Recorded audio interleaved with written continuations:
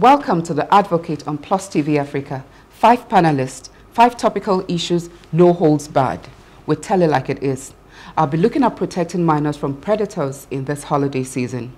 Elijah will touch on leadership transitions, global diplomacy, and lessons from and lessons from Freetown in Sierra Leone is Abdul Malik. He'll be speaking on enabling technology for Africa. Bola will be talking us through the lessons from protests and political dialogues. Inikbi will similarly be highlighting some of the lessons from the Senate President's derogatory remarks that sparked debate on gender respect across Nigeria. Elijah will lead the way right after this short break.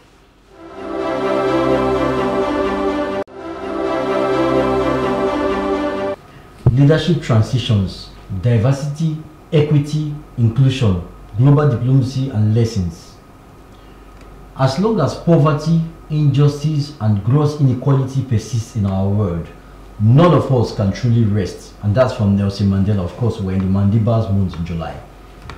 In a significant move, President Joe Biden has announced his intention to step down, signaling a responsible leadership transition. This decision contrasts sharply with the reluctance of some African leaders to relinquish power, underscoring the importance of democratic principles and leadership accountability. Concurrently, the emergence of Vice President Kamala Harris has invigorated discussions on diversity, equity and inclusion DEI in leadership, setting a global example of progressive governance. In Nigeria, planned protests are stirring tensions with the presidency, accusing political opponents of fueling the unrest. These accusations suggest a fragile political climate where transparency and dialogue are critical to maintaining stability. Going back to global front, peace talks are gaining momentum with the Israeli Prime Minister Benjamin Netanyahu visiting the US for discussions just about a month after the visit of the Ukrainian President Volodymyr Zelensky. These talks emphasize the need for diplomatic engagement and conflict resolution in maintaining global peace and security. Lessons from these Leadership transition embrace democratic principles for smooth transitions on diversity, equity, and inclusion initiatives. Promote diversity, equity, and inclusion in leadership and decision making for a prosperous and sustainable national growth. On gender equality, ensure respectful treatment and equal opportunities for women in politics. Transparency foster transparent and open continuous dialogue between the government and the masses and various stakeholders on diplomatic engagement. The journey to global peace is very tasking and requires intentionality in prioritizing diplomacy for conflict resolution and peace building. Now, my fellow advocates, before we respond to this, let's observe a moment of silence in commiseration with the families of the victims of the plane crash that occurred on Wednesday, the 24th July, during the takeoff at the Kathmandu's Tribhuvan International Airport in Nepal, where over 18 persons, 18 persons lost their life. May the soul of the departed rest in peace. Um, so I, I was going to talk about leadership and responsibility. You saw what happened. President Joe Biden, after due consultation, decided to step down. Okay, I'm not running again or even even if some quarters were saying if you are going to step down from contesting, then you should actually step down from the, being the well, let's leave that. But in in Africa, we've seen situations where some persons have refused to relinquish power, mm-hmm. and then the citizens are helped. There's a question: How have this country failed? Um, fared? There's argument that some of these countries are better off, and there's still argument that they were not better off. So I want to hear your take on this. Let me start with you. Uh, well. Um I was actually going to hope that Inikbi would um, come in at this at this point.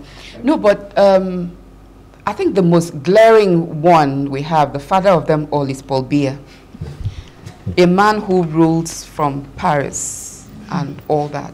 The point you would look at is who is supporting this man they said when you see uh, something dancing on the road, the people beating the drum for him are just, you know, inside the forest and, and stuff like that. So uh, Joe Biden, the last time we were together, when we talked about this, I said, when people saw that debate they realized that something was off. And it didn't help that he goes back and comes down with COVID. A man that has integrity will always demonstrate leadership. Because there is no point, if you want to be president now here of this advocate group, and by the time two of us back out, she's willing to walk away, who are you going to be advocating for? So I think the man saw the handwriting on the wall. And the Democrats have always been a group of people who always believe in setting a precedence, in letting integrity grow. That's always been their watchword for a long time. And they like fair play. So if people, if your donors are saying, we're not giving you any money, we're not going to stand by you, what are you going to do? You will leave. If the Republicans come out tomorrow and say, oh, um, Trump is a convicted felon, 34 counts, we don't want to support him anymore, he's not going to have anybody to work with. So in, in Africa, we have had uh, one of our former presidents still living who wanted to do third term, and people said you cannot. He didn't stay. We are um, privy to uh, Babangida's speech of stepping aside. So when the people make enough noise, their opinions will rule the day. So Biden just had a listening ear. That's all. Nigeria now, we have enjoyed democracy since 1999, uninterrupted, and nobody has overstayed. When Goodluck Jonathan, when, oh, they were like, oh, should it be like this? Or the man said, I, I know, I like peace. Mm. I'm ready to give up. So I think Nigerian leaders, to a very fair extent, you know, have actually done the right things in terms of passing the baton when the time comes for them. So I don't think we can really, really say, oh, Nigeria. No, we're actually setting a precedent or an example for other Africans, other African states. So Nigeria is a bit uh, different. We, when you look about, if you say we have elderly leaders, that is another conversation. Mm-hmm. But Nigeria, no. Ghana, when the time for transition comes, they go. Yeah. So when you're looking at, you look at Paul Biya, you can look at Rwanda. But when you go to Rwanda, you find that the people actually like Kagame. So I really don't know. That's sustainable for them. That's the question. They want Kagame. They like Kagame in power. He has been doing very well. But is it okay to have someone? But he's there at the moment, okay. and that, uh, we're not Rwandans. Okay. This is what the Rwandese people want.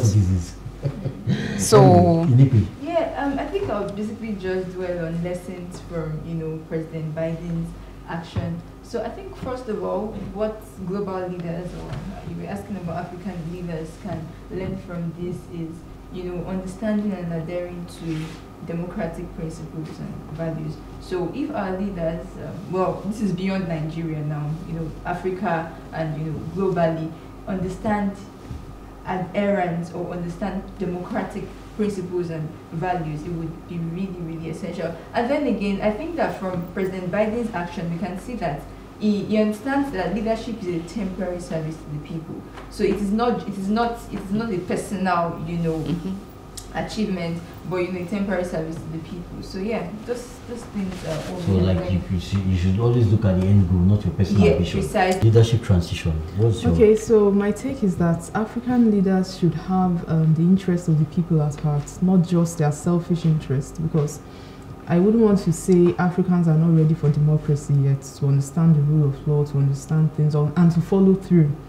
And so, um, understanding that the interest of the people comes first is the first thing they should always consider. That's my take. All right, thank you very much. So it's up to the people of America to decide who is their president based on what they think is good for them.